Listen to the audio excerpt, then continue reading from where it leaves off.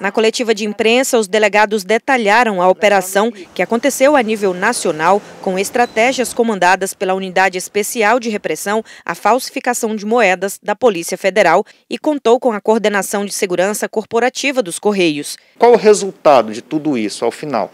A Polícia Federal otimiza o seu trabalho porque nós deixamos de ter um foco nas pessoas que portam as notas e colocam essas notas para circular, e nós conseguimos alcançar a organização criminosa. No Maranhão foram presas três pessoas, dois homens aqui em São Luís. Com um deles estava a maior quantia, R$ 5.500 em cédulas falsificadas, e uma mulher foi presa em Santa Rita. Todos eles foram presos em flagrante no momento em que recebiam caixas, encomendas com as notas falsas dentro, entregues pelos Correios. As notas eram comercializadas pela internet, em redes sociais e grupos criados em aplicativo de conversas. Efetuamos um controle do trajeto dessa encomenda.